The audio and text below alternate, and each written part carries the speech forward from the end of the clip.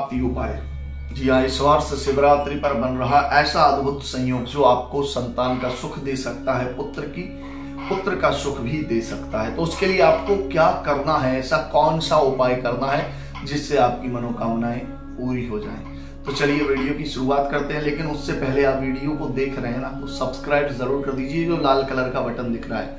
और साथ में ही एक घंटी का ऑप्शन भी दिख रहा होगा, उस पर क्लिक करके ऑल नोटिफिकेशन ऑन कर दीजिए, क्योंकि आप ही के लिए तो ये सारे वीडियो में बनाता हूँ। चलिए वीडियो की शुरुआत करते हैं। जी हाँ इस वर्ष शिवरात्रि पर बन रहा है ऐसा अद्भुत संयोग जो करेगा आपकी हर मनोकामना को पूरा। लेकिन पुत्र संतान प्राप्ति के लिए आपको बहुत छोटा और साधारण सा उपाय करना है।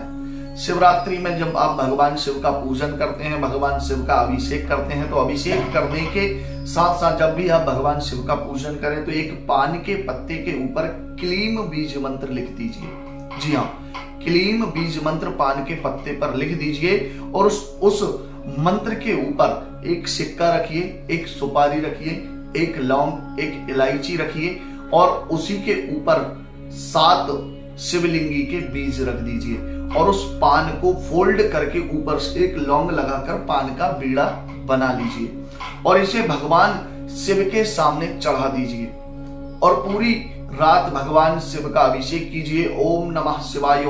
महामंत्र का आपको जप करना है और सुबह प्रातः काल स्नान करने के बाद उस पान को उठाना है और उठाने के बाद उसे एक पीले कपड़े में बांधना है और बांधने के बाद जो महिलाएँ हैं, वह अपने बिस्तर पर तकिए के नीचे इसे रख दीजिए।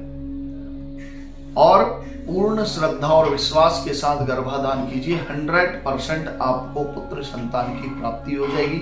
यह अद्भुत और अचूक उपाय है। इस उपाय को करने से निश्चित ही संतान की प्राप्ति हो जाती है। वीडियो अच्छा लगा है तो चैनल को सब्सक्राइब करके जाइएगा। जय महाकाल। हर हर महादेव।